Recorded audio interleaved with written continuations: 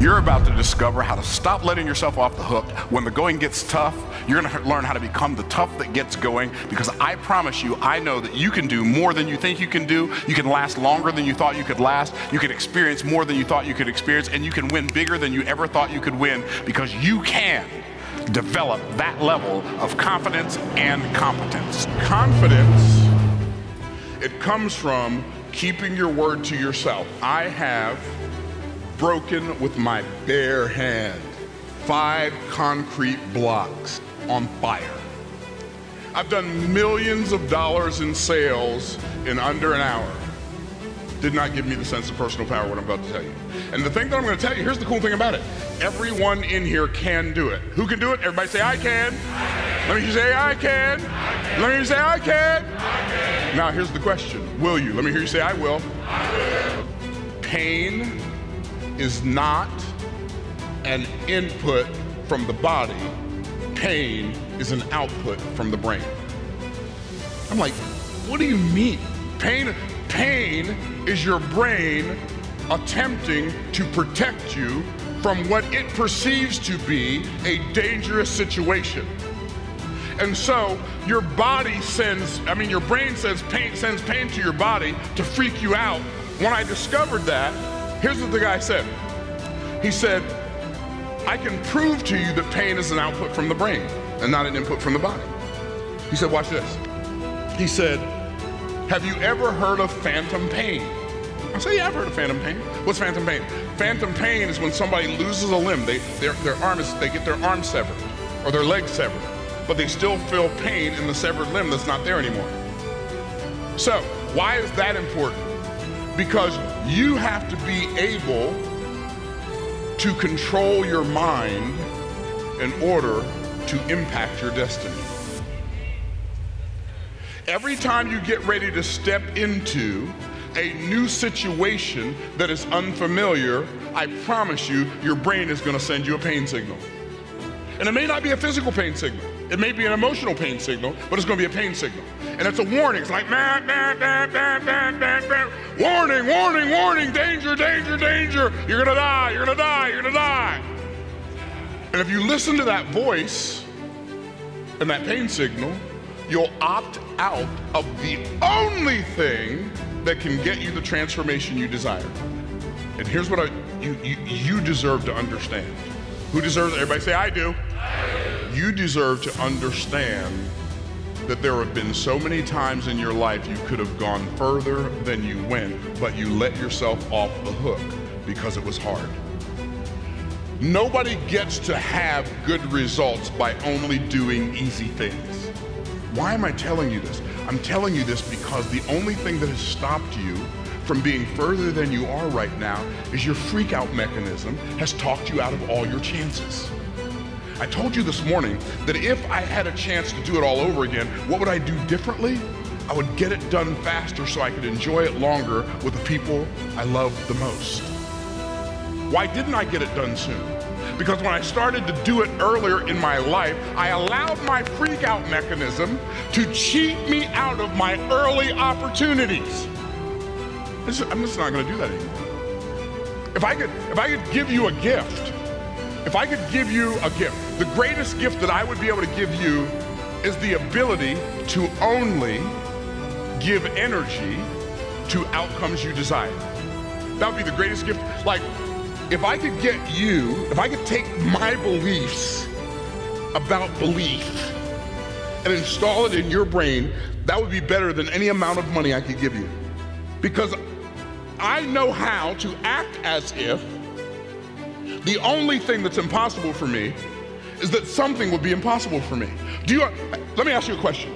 How many of you would attempt more than you attempt right now if you knew you could not fail? Come on now, be honest with me.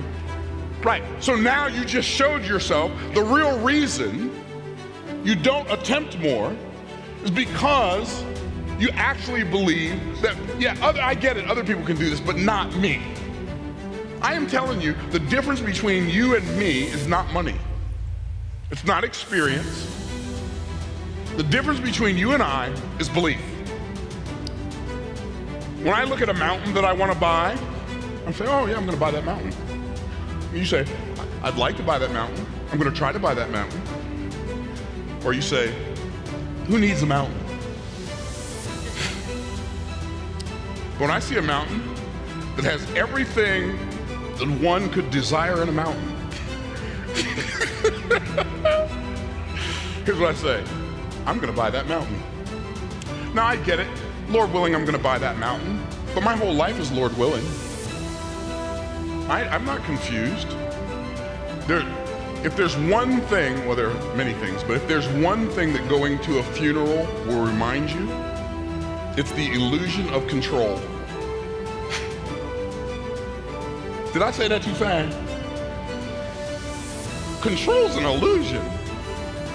Now, I may look like I have some control, but here's what it says. Here's what the scripture says.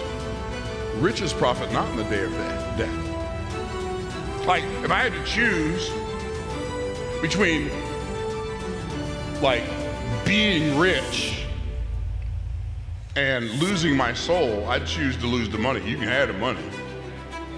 I'm not confused. Some of y'all, though, y'all waiting to start living till you get to heaven.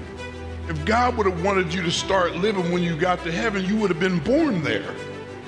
You have an assignment. I have an assignment. Because my life is not my life. I get that. I'm not confused. My life belongs to God. Everything that I am belongs to God anyway. I'm not confused about that. The money is a tool. For what? For expansion of the kingdom. Not my kingdom, his kingdom. I'm not confused about that. But I don't have to make excuses about it either. See, here's what's beautiful about an assignment. When you own your assignment, you don't need to understand, you don't need somebody else to understand your assignment. I don't need you to release me to my assignment. God gave me a field. God gave me an assignment. You can't fulfill mine, I can't fulfill yours.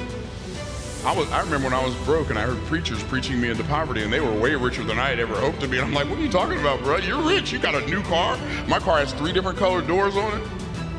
How can money be that terrible and you have so much of it? He didn't have that much of it, but he had way more than I had. And see, most people think rich like too rich is the person has more than me.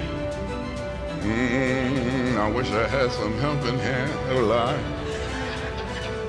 The person who's too rich is the person who has more money than me. So they need, if I had that much money, I'd go feed all these hungry orphans. But the problem is you don't care enough about those hungry, the hungry orphans to go make enough money to feed them. You just want to spend, you just want to spend somebody else's money to feed them. Real talk. Yeah, you know how to spend somebody else's money on, on giving. See, I already feed orphans. We already take care of widows. I'm not, I'm not confused. The point is, kingdom expansion costs money. See, the first temptation in the history of the world was the temptation to focus on lack. Why? Because the scripture says, the thief cometh not but for to steal, to kill, and destroy. When you steal, kill, and destroy, there's less. Satan is the God, little g, of lack. But here's what Christ said, but I am come that you might have life. Chai. Chaim. It's actually, the word is actually lives. But you, you might have life because you're not just your life. See, if you have children, those lives are in you. They're your grandchildren, your great grandchildren, those lives are in you. You're not just a life, you're lives. You're all the lives that will come through you. How do I know that? Because the scripture says that Levi, who hasn't, before he's born, paid tithes to Melchizedek while, yet he, while he was yet in his father Abraham's loins. See, what we don't, what we fail to realize is that our children, our grandchildren, our great grandchildren receive blessings based on our being a blessing, and they receive curses based on our following curses. Satan is a God little g of lack, and Satan knows he cannot block your blessing. So guess what he does? He mental blocks you from the blessing because he can't block the blessing from you. What do I mean he mental blocks you from the ble- you from the blessing? Satan is a master of making people think good is bad and bad is good. Your friends are your enemies, your enemies are your friends. What's right is wrong and what's wrong is right. More is less and less is more. That's Satan's master deception. Here's what Satan told Eve if you disobey God, you will be more like God. If you will focus on the thing that you don't have, that's lack, the one tree that they couldn't have, if you will focus on the lack, that will make you more like God. Ignore all of your abundance, ignore all the trees that you can have freely, focus on the one thing you don't have. Focus on lack perpetuates lack. I'm not afraid to give money. You know why? Because I know there's more where that came from. I'm not afraid to invest money. You know why? I know there's more where that came from. I'm not holding on to it. I'm not holding on to the seed thinking that it's cereal. The farmer who thinks his seed is cereal when it's time to plant will be very hungry when it's time to harvest. And there's far too many of us who've been programmed to believe that the seed that we're supposed to sow in our own garden is something we're supposed to consume upon our own lust. See, people think I have competence because I'm good at stuff. I'm good at stuff because I have confidence. My confidence comes, see, I don't have faith in faith. I have faith in the one who is faithful.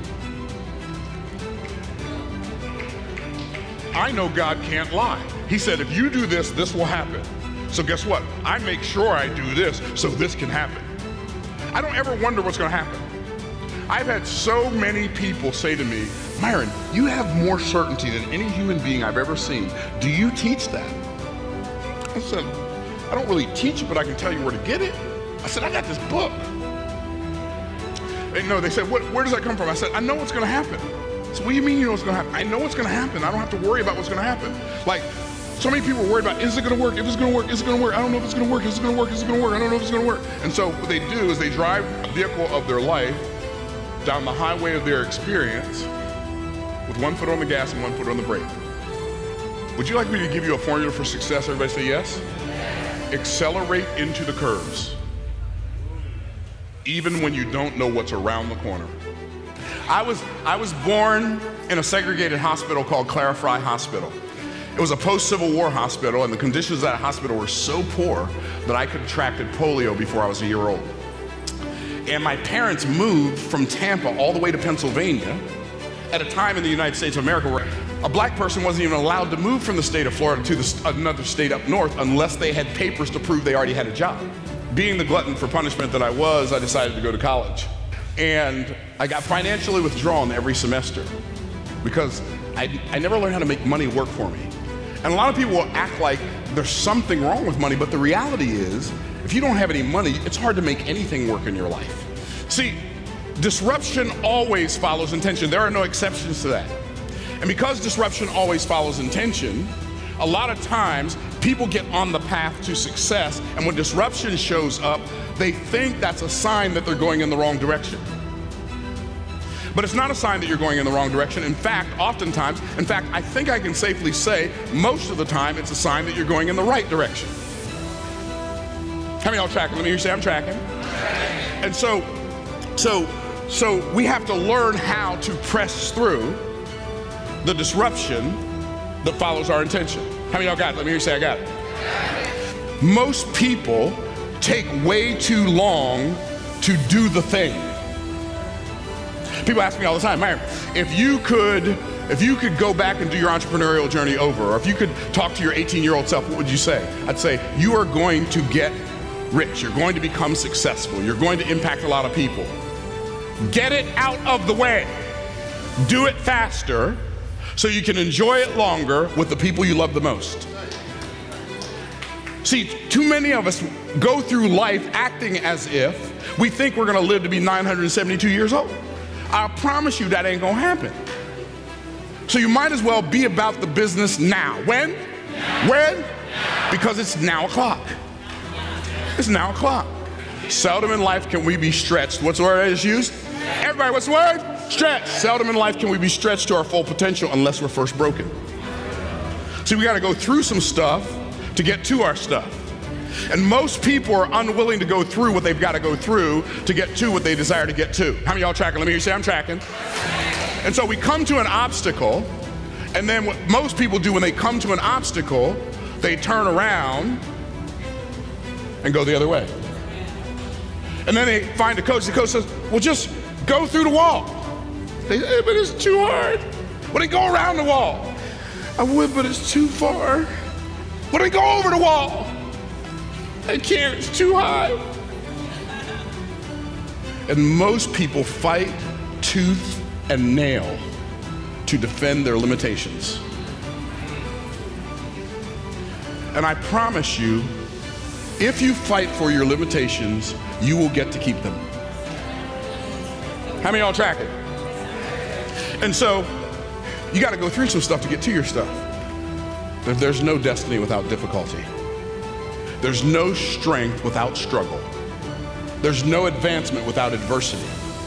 So if you'd like to get to something, but you're unwilling to go through something, you're only going to frustrate yourself for the rest of your life.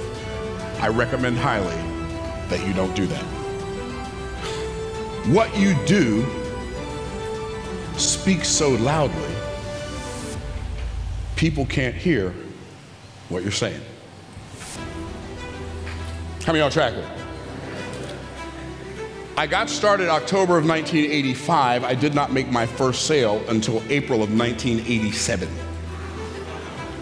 18 months later, I made my first sale. I became the top salesperson in our office month after month after month after month after month after month. So just because you're not good at something when you get started doesn't mean you can't be good at it when you finish. See, here's what happens. When you decide to do something good, like and you're not good at it, most people quit when they're bad. Well, that's not a good time to quit. You quit after you get six championship rings, not before you get one. I used to weigh 40 pounds more than I weigh right now. And I decided I'm gonna start working out every day. I'm gonna start, just do 30 push ups a day and 30 sit ups a day. And I got down to do 30, this is gonna mess up my tie, but I don't care. I got down to do 30 push ups and I said, I can only do four. Next day I came back. Guess what? The next day I could only do three. I didn't get stronger, I got weaker. But then one day in this process, I said, I'm gonna go, I'm gonna see if I can get up to 10. And I just, like one, two, three, four. Oh my goodness, I can't. I can't. I can't stop. I can't stop. I can't stop. I can't stop. I can't stop. I can't stop. I can't stop. I can't stop. I can't stop. I, don't I don't know how to stop. Somebody stop me. Can't I hit the off button. Hit the off button. You say, Myron, what's the lesson? Here's the lesson. Here's the lesson. Repetitive use of a limited ability will always produce an increased capacity. Don't be deceived by your limited ability. Don't let your limited ability persuade you that just because you can't do it now, that means you'll never do it. You keep doing it while you can't do it. That's how you earn the right to deserve to do it. It took me a year and a half to make my first sale. And now I have thousands of students all around the world who've made collectively hundreds of millions of dollars.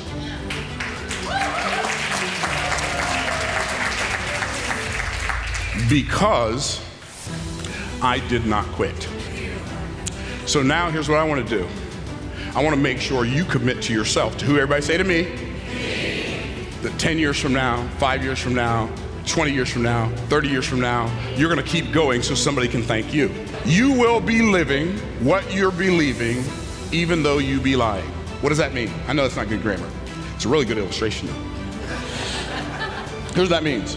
Anything I tell myself about a future outcome, I made it up. Who made it up?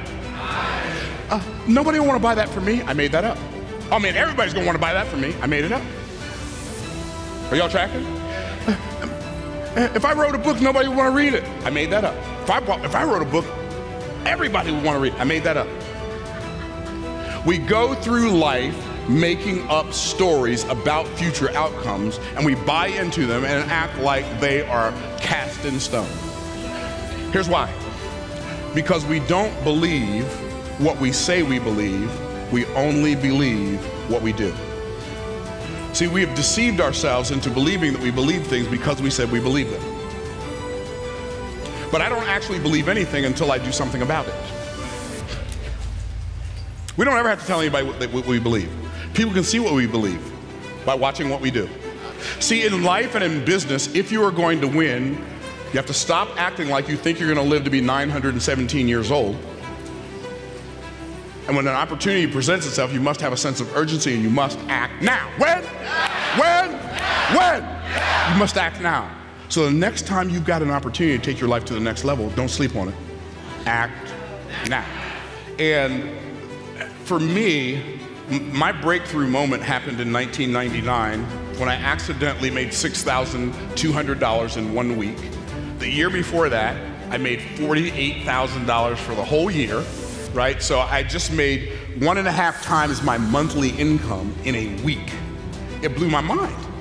And so I realized at that time that it's easier to make a lot of money in a short period of time than it is to make a little money over a long period of time. And what that what that looks like is 100,000 a month is easier than 100,000 a year, so you might as well just ship the goal. That's not hyperbole. That is fact. The shorter the time periods get with the same amount of money, the easier it is to make that amount of money. If, if, if I could get you to believe that, you know what you would do? Everybody say, what would I do?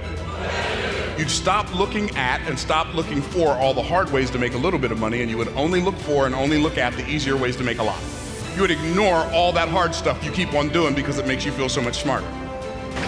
But there's going to have to come a time when you stop letting yourself off the hook. And it doesn't have to be here. And it doesn't have to be today. It doesn't have to be this week. But if you're ready, if you're going to change your life ever, there's going to come a time when you stop letting yourself off the hook.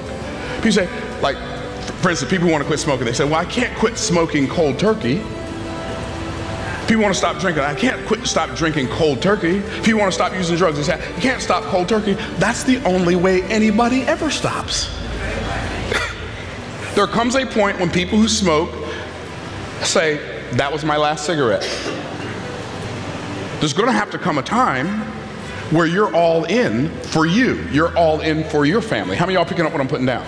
You are only free when you have nothing to lose and nothing to gain, and nothing to hide, and nothing to prove.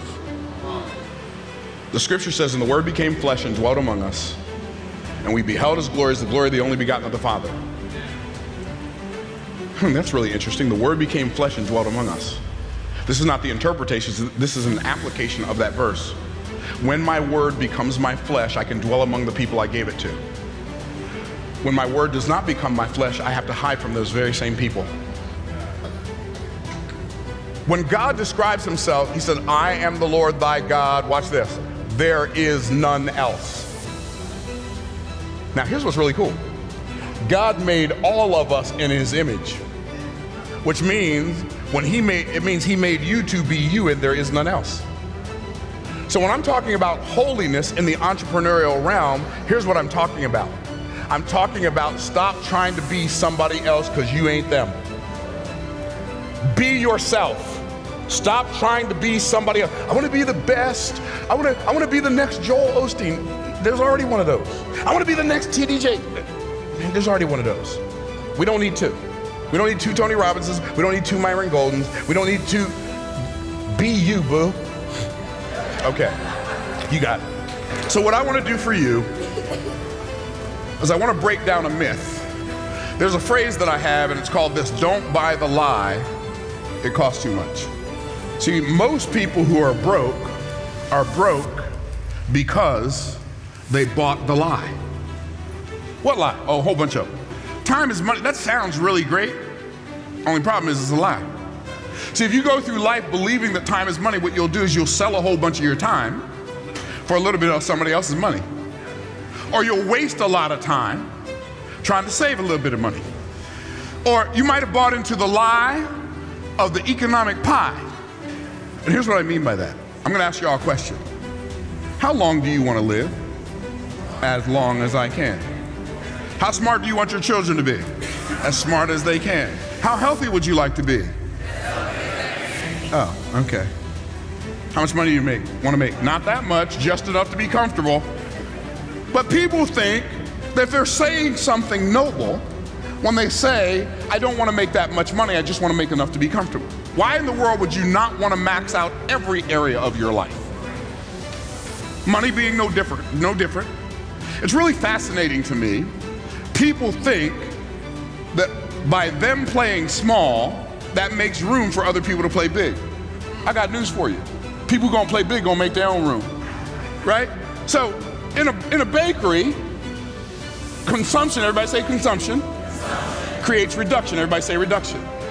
See, God does not live, He does not operate in a shrinking environment. God created an ever expanding universe. There's no such thing as running out of resources. There's only a thing as running out of people who are willing to be resourceful. See, God put man in a garden. Why? Because in a garden, you plant a seed and the tree eventually grows. And then on the tree, it produces some fruit. Produce some what? Talk to me, everybody. Produce some what? Produce some fruit. Now, the interesting thing about fruit is a fruit is a living organism whose seed, everybody say seed, seed, whose seed is in itself. What is the first thing God ever said to man? Be fruitful and multiply. Why did he say be fruitful? Because God deposited, planted, everybody say planted, the seed of an aspect of his creativity inside of each of us. He gave some of y'all musical seed. He gave some of y'all a carpentry seed. He gave some of y'all a plumbing seed. Some of y'all a mechanical seed. Some of y'all a writing seed. Some of y'all a talking seed. He put a different aspect, a seed of a different aspect of his creativity inside of each of us. He did not put all of those aspects of his creativity inside of any of us. Why? Because he created man to be interdependent. In a bakery, consumption creates reduction, but in a garden, consumption creates production. He said, Don't you want to be like, he said, he should be like a tree planted. Now, here's the interesting thing about a tree trees don't grow in one direction, they grow in two directions. How many directions? Talk to me. Two, how many directions? They grow down and they grow up. They have to grow down before they can grow up. The part of the tree that grows down is the root system. The what? Talk to me, everybody. What? The part of the tree that grows up is the fruit system. It's the what? It's the fruit system. Here's what I found out about entrepreneurs we all want to grow phototropically. Nobody sees the growth of the trees that's below the surface. The growth of the tree that produces the fruit, that makes the fruit possible, is done in silence, in the dark, in a lonely place, in a dark place, in a damp place, in a difficult place. Nobody's clapping for you when you're in the dirt. Nobody's singing your praises when you're in the dirt. Nobody knows your name when you're in the dirt. Nobody's read your book when you were in the dirt. You don't get any likes on your post in the dirt. But if you don't go in the dirt where none of that stuff is happening, you will never grow towards the light where all that stuff can happen. Abraham Lincoln said, I will prepare myself and perhaps my time will come. Myron Golden says, Your time is going to come whether you prepare yourself or not. If you are prepared when your time comes, it will reveal you. If you are not prepared when your time comes, it will expose you.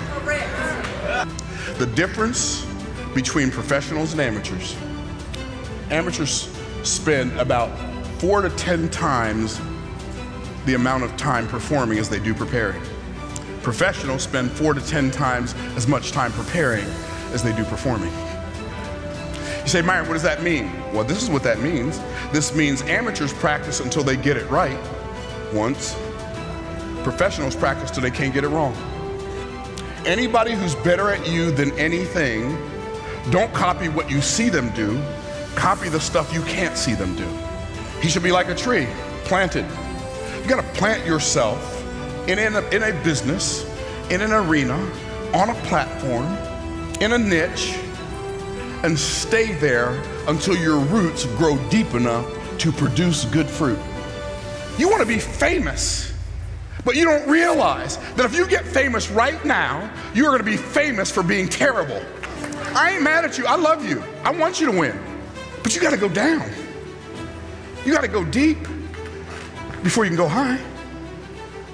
And most people are unwilling to go deep. You know why? Because it's hard. It's hard. You gotta go down in the dirt. You gotta like you gotta start pushing stuff through stuff that's hard, and you gotta start squeezing, and pushing, and, ah, and the roots, and, ah. and then you gotta start growing the other way and start pushing through. It's just hard. But the easy hard principle says hard on the front end produces easy on the back end. But easy on the front end produces hard on the back end. And see what you most people want the easy stuff on the front end. Life don't work that way. And see, some of y'all trying to skip cycles. Trying to produce ripe fruit with shallow roots. Shallow roots don't produce ripe fruit. It's hard, it's difficult. It's not just difficult though. Not just difficult. That'd be terrible enough if it was difficult if it was only difficult, but it's difficult and it's dark. Now here's what darkness represents. Because you know, when you put something in the ground, there's no light down there. I mean, darkness is a picture of anxiety, fear, and confusion. That's what darkness is a picture of. And see, we got to do enough iterations in the dark where we make mistakes in the dark, where we bust our knuckles in the dark, where we bump our head in the dark, where we stub our toe in the dark, so that when we come to the light, we don't have to do those steps anymore. You're not just the gardener, you are the garden. And God planted a seed of His creativity, an aspect of His creativity inside of each and every one of us. And it is our job as the gardener and the garden to cultivate that seed. What do we need to do? We need to put some Isaiah 55 on. People can people can smell be it when they're being faked out, right? You can't fake real love. You can't fake real concern. You can't fake real caring. People can smell it from a mile away. I know I can. Like, people don't need more people with more tactics. They need more, the world needs more people who actually care. It's really interesting. Uh, somebody asked me one time, I was in a conference that was probably about this size, and I was one of the coaches there, and I was on stage, and somebody said, Myron, what do you think is the best solution. There's so much social unrest. There's so many there's so many social ills in our society right now. Like what what do you think is the solution for that? Oh, I said that's easy. But seek ye first the kingdom of God and his righteousness, and all these things will be added unto you. Now, his kingdom is not a kingdom of subjects. His kingdom is not a kingdom of citizens. His kingdom is a kingdom of kings and queens. And if you are a man who has been redeemed by the blood of the Lamb, God wants to make you the king of your thing. If you are a woman and you are redeemed by the blood of the Lamb, He wants to make you the queen of your scene. God is a king who, who He is a king of kings. I'm a king who is seeking to serve people. And me serving them doesn't make me less, but me being a king doesn't make them less. And here's what God said if you will seek first the kingdom of God and his righteousness, all these things, what things? What you're going to eat, what you're going to drink, what you're going to wear, what you're going to what you're going to put on, all of the things that are necessary for your physical life will be added unto you. It's a bonus. Something good? If you have something good, you have a moral obligation. Everybody say moral obligation. Moral obligation. Did you know that an airplane which goes up in the sky, the wings are angled which way? Down. Why? Because in nature, down precedes up. What comes first, up or down?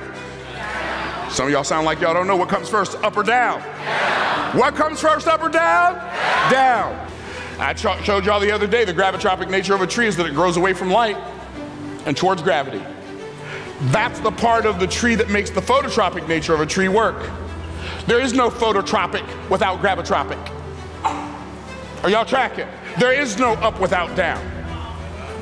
And this tree has to go down before it can go up. And your life has to go down before it can go up. Maybe that's why disruption always follows intention. You cannot find one single, solitary, great human being in the annals of history whose life wasn't hard before it got easy, whose life wasn't bad before it got good whose life wasn't raggedy before they had it all together. Not one. Do you realize in the, in the very first book in the Bible, in the very first chapter in the very first book, God set an intention to create everything. In the beginning, God created heaven and earth. What happened next? And the earth was. That word was is not used to be, it's the word became. Without form and void, and darkness was upon the face of the deep. Even for God, disruption always follows intention. And you want it to be easy for you? Why do you think you should get a pass?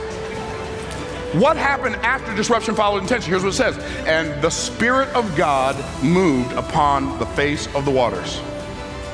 That shows us a couple things. What does it show us? It shows us when disruption follows our intention, we need to find a source of inspiration. How many of y'all have found a greater source of inspiration this week at this conference than you've ever found before in your life? Let me hear some lions! But it's also a sign to remind us to breathe. You can't speak things into existence. But what you can do is you can speak to yourself and install some faith in a space where doubt used to exist. And then you can take an action in faith that you could not take in doubt. And then you can produce a result that one now that you have the faith that you could not produce when you had the doubt. That's how it actually works. You can speak to yourself. The Bible says that David encouraged himself in the Lord. You can talk to yourself. What do I say when I talk to myself? Say the same thing to you that God said to you. Why? Because faith cometh by hearing, and hearing by the word of God. Oh, that's there it is. Only God can create faith. After the disruption that follows your intention, what do you have to do next? You have to get some education. You have to learn something. What happens when we learn something? We can see things we couldn't see before we learned it. Education is light. Like, I'm not talking about the miseducational, misdirectional system, the government indoctrination camps, the child prisons. I'm talking about real education, the kind that begins with the fear of the Lord. By the way, wisdom doesn't begin with the love of the Lord, it begins with the fear of the Lord. God doesn't just have principles, He has order for those principles. Too many of us spend too much time trying to get out of the difficulty that's going to make us strong enough to stay there when we get there. Instead of getting from the difficulty the strength that will give us the ability to stay there when we get there. Stop trying to get out of it and just get something from it. So you have to be willing to stomp on everything that tries to stop you. See, the reason some of y'all are stuck is because you haven't learned how to stomp your obstacles. You've been capitulating to your obstacles. You thought they were obstacles. You didn't realize that on the other side of that obstacle was an opportunity to elevate. And so what happens, he said, be fruitful, do multiply, do subdue, then and only then can you have. Some people would have us to believe, and it's just false. Here's what they would have us to believe. If what you're doing isn't working, try harder. Well, that sounds to me to be about as dumb as a box of rocks. What you're doing isn't working, so I should work harder at what's not working. God put inside of all of us a desire to have more. Your desire to have more money, your desire to have a nice house, your desire to have nice relationships, your desire to take great vacations, to educate your children greatly, that desire is a desire that God put inside of you. Why? So that you would finally yield and do the right thing so you earn the right to have the thing you desire. And so the problem with that, and yes, there is a problem. Every human being, who's that include? Everybody say that includes me. Every human being is already doing 100% of everything they can do who they are right now. And so what happens when we attempt to do more so we can have more, we bump our head on our inability. And we stub our toe on our insufficiency. How many y'all picking up what I'm putting down? Why? Because God does not have a desire for us to go to a higher level where when we fall, we kill ourselves. So He's ordained that in order for you to be able to do more, you have to become more. So I'm going to give you the scientific formula for success. When you're ready, say, I'm ready. ready. Okay, here it is. If you don't like the output, change the input. By the way, there's no there's nothing in the world that that won't work for. If you don't like the output, change the input. You know what most people do? They don't like the output. So you know what they do? They do more of the input that's not working. So being is the input for doing the output. Doing is the input for having. Having's the output. And when you understand who you are, you will be able to do everything you can do, and then you'll have everything you're supposed to have. Boom. This word identity is so powerful. I don't even know if you understand how powerful this word is. There's a thing that you've been walking around with called your identity. What's it called? Your identity. What's a identity? It's all the things, all the people in your life told you you are not. That's your identity. And you believed all the things they told you. You're not smart enough. You're not pretty enough. You're not tall enough. You're not athletic enough. You're not smart enough. You're not good enough. You're not dark enough, light enough, this enough, bad enough, mm, right? You bought that. And you said, they said I'm not. So you know what you do? You go through life trying to prove that you're something else you're not to overcome the thing they told you you're not. But you try to prove you're something else that you're not instead of just going ahead and letting who you are be enough. And so you replace your lie identity with your my identity. And what's a my identity? It's a lie identity you got from you. Am I talking too fast? But see, God knows in the realm of time, in the realm of what? Time. In the realm of time, there's no such thing as the present. People say, be present. You can't be present. Like, there's no time like the present. Well, the reality is there is no present. In the realm of time, there is no present. As soon as I say now, it becomes then. Now then, now then. Try to catch it. Now then. Now then. Now then. Doesn't matter how fast I say it. As soon as it comes out of my mouth, it becomes then. Time is ever evaporating. The sand's falling through the hourglass.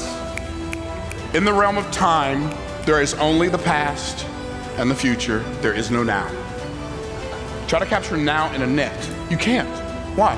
Because in the realm of time, now can't stay here. In the realm of eternity, there's no such thing as the past or the future. There's only the now. In fact, eternity is the forever now. And that's why God is the I am that I am, not the I was that I was, or the I will be that I will be. You are the, the screenplay writer. Who wrote the, who wrote the script? I did. Everybody say I did. I did. Okay. Um, you are the director. Who's the director? Everybody say I am. Okay. You are the producer. Who's the producer? Everybody say I am. Okay. So you you wrote the movie, you produced it, you directed it, and you starred in it. So you go to the premiere. And so everybody is on the edge of their seat the whole time thinking you about to die. And you sitting over there all calm. But you, why? Because you wrote it, you produced it, you directed it, you edited it, by the time they see it, for you, it's already been done. What is a moving picture to us is a snapshot to God. Become hyper intentional. Become what? Hyper intentional. I said hyper intentional. What? Hyper-intentional. Become hyper intentional about everything you say that follows the words I am. Come on now. Don't you dare say I am stupid. Don't you dare say I am broke. Don't you dare say, oh, I'm such an idiot. Why? Because every word, every time you say, whatever words you say after you say I am, you're infusing those words with the power of eternity. Don't you dare to associate God to that. Your, your real problem is you don't understand that you are already bigger than everything you will ever face. In fact, the reason you are facing it is so it can show you how big you are. And the very thing that God has ordained to show you how big you are, the enemy tries to twist it to make you think that you're as small as everybody told you you are.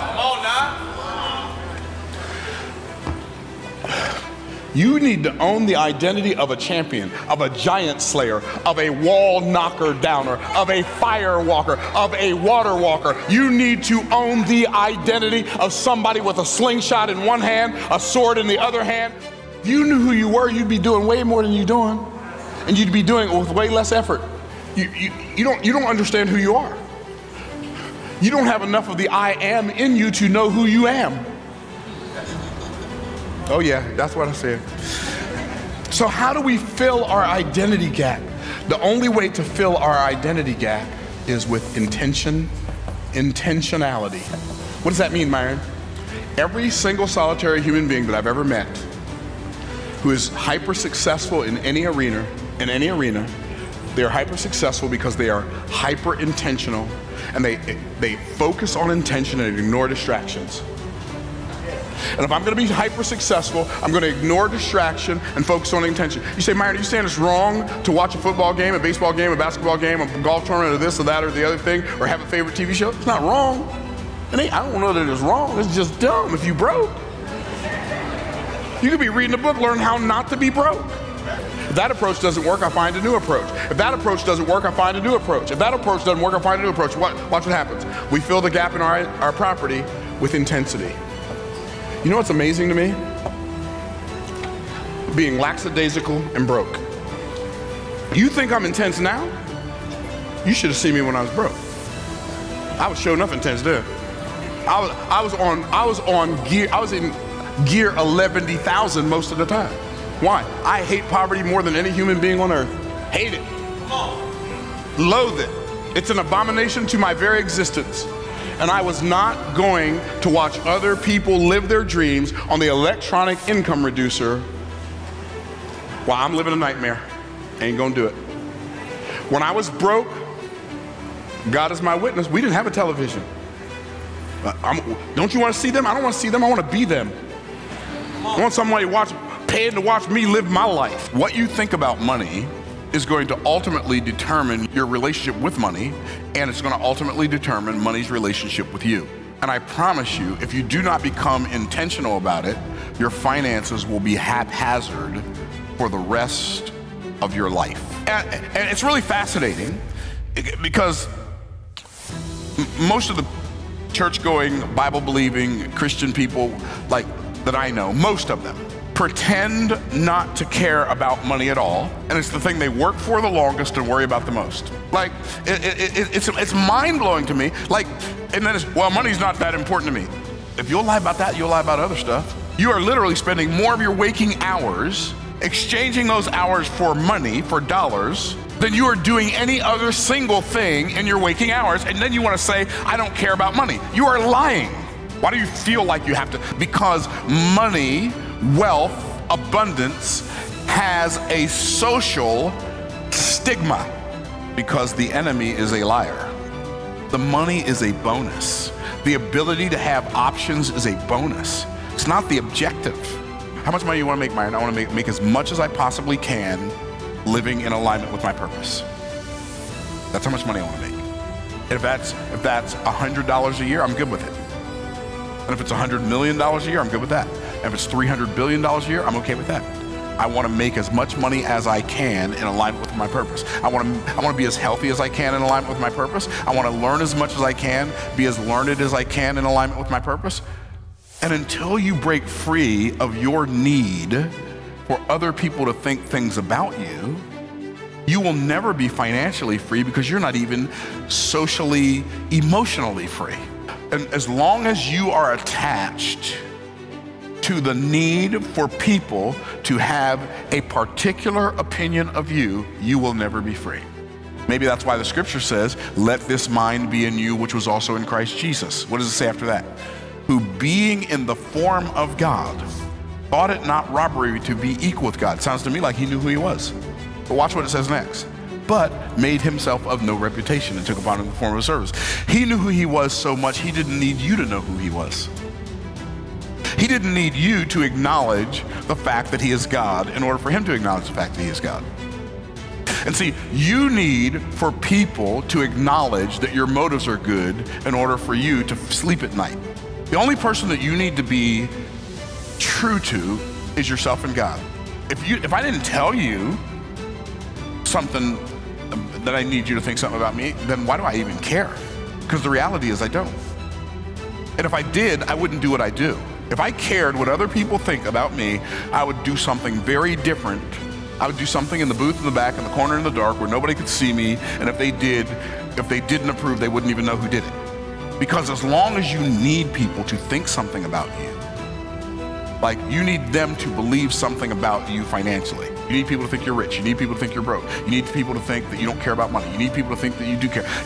Whatever the thing that you need them to think is, you have no control over their thoughts. You barely have control over your own. Let it go. stop allowing yourself to think these toxic thoughts about money. If we're going to become hyper intentional about our thoughts, we automatically have to be hyper intentional about our words. Because the reality is, you can speak without thinking, but you can't think without using words. Most people take their past experiences, they project it on the screen of their future, they recreate the past and think they're living in the present. But what they're really doing is living Groundhog Day.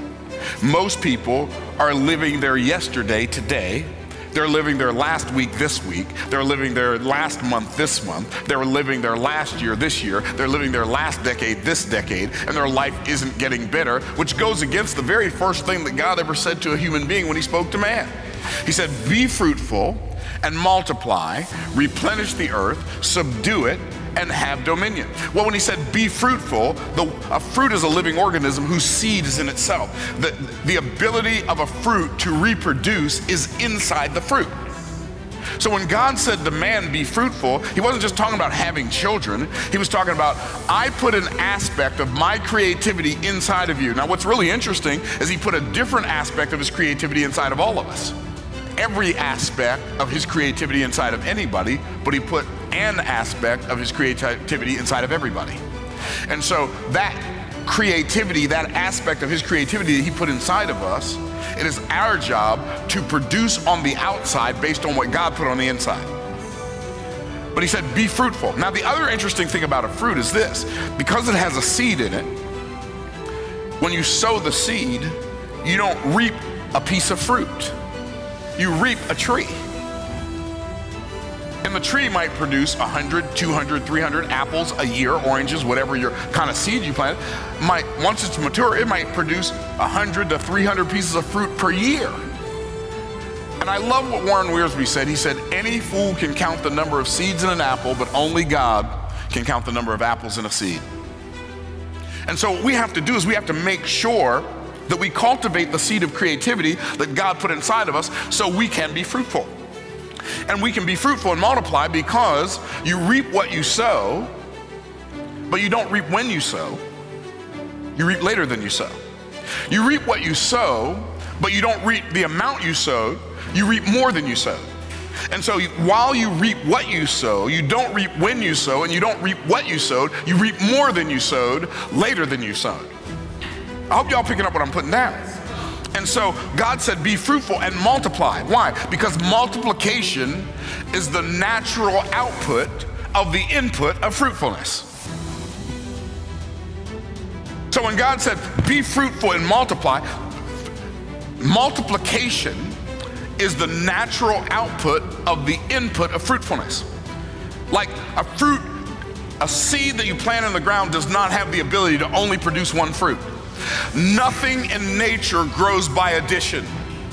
In nature, everything grows by multiplication, which means when God said, Be fruitful and multiply, the word multiply means to increase. But it's not just an incremental increase, it's an exponential increase, it's a geometric increase. See, there are people in the world who want to act like human beings are destroying the planet. But human beings aren't here for the planet, the planet's here for the human beings. God said clearly, pollute not the land in which ye dwell. But the environment isn't God. The earth is not my mother. It is here to serve me. I am not here to serve it. When he said, Be fruitful and multiply, replenish the earth, the word replenish means to fill up. Don't make the mistake of thinking that when a beaver uses its limited creativity to build a dam in a creek in the forest, that that's organic. When an ant uses its limited creativity to build an ant hill in the ground, that's organic. When an eagle uses its limited creativity to build a nest in a tree, that's organic. But when a human being uses its unlimited creativity to build a city, that's somehow inorganic. A city is as organic as an ant hill, a beaver dam, or an eagle's nest. So when God said, be fruitful and multiply, what he's telling us to do, he's telling us to increase and fill up the earth. Replenish means to fill up the earth with the multiplication of the things that we create. That's our job. So when God said, be fruitful and multiply, replenish the earth, and they said, subdue it, what does subdue mean? Trample down, stomp it. What does that mean? That means trample down anything that tries to stop you. Which, and if he's telling me to trample it, that means whatever opposes me is both beneath me and smaller than me. So if he told me to trample it, that means I have the ability to trample it. It's already under my feet. Now all I have to do is take the action to step on all of the stoppers. Today should be better than yesterday. This week should be better than last week. This month should be better than last month. This year should be better than last year. And I'm not just talking about better financially, but I'm including better financially. This whole idea that as you get older, you have to get sicker and weaker and broker is hideous. But if you believe that, then that's exactly how you're going to set up your life. I know people my age who talk like they're 100. Guess what? They also walk like they're 100, they move like they're 100. You've got to, when things are going well, you have to be preparing for when things aren't going to go well. When things, when you have seven years of plenty, you have to be preparing for seven years of famine. Here's, here's what God told Joseph to tell Pharaoh to do. When things are going good, put back that one fifth part. What is that one fifth part? 20%. When things are going great, stash 20%. Hold on to 20%.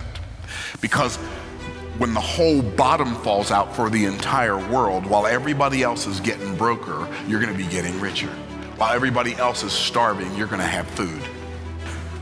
So stop thinking from the past. The past is nothing more than your launch pad for your future. Treat it like that. The biggest financial breakthrough of my life I, I learned last June. I remember it like it was yesterday. And here's what I discovered that poor people and middle class people feel like everything is expensive because they pay for things with money they've exchanged their time for. So they feel like they're paying for everything with their life because they are. Wealthy people pay for things according to their creativity. Now, notice I didn't say that wealthy people pay for things out of their creativity. I didn't say wealthy people pay for things with their creativity. I said wealthy people pay for things according to their creativity. Why did I say that? Because if I paid for it out of my creativity, I'd have less creativity after I paid for it than I had before I paid for it. If I said I paid for it with my creativity, I'd have less creativity after I paid for it than before I paid for it. But if I pay for it according to my creativity, then I have no less creativity after I paid for it than I had before I paid for it. That's why it says, My God shall supply all your need according to his riches and glory by Christ Jesus. Why? Because when he supplies your need according to his riches and glory, he has no less riches and no less glory. Are y'all tracking? To, like, when you learn how to pay for things according to your creativity, everything costs the same amount. Start paying for stuff with offers. If I desire, if I desire to go buy a brand new house, I'll just create an offer and pay, it'll pay for the house. When I want to buy an apartment building, I'll just create an offer and that offer will pay for the apartment building. I created an offer that pays for all my private jet travel. Are y'all tracking? So to me, my Rolls Royce cost me no more than this box of Tic Tacs. Because you know what? I paid for both of them with the same thing, an offer. Oh, oh, it hit you, didn't it? It hit you, didn't it? See, and guess what? Here's the cool thing.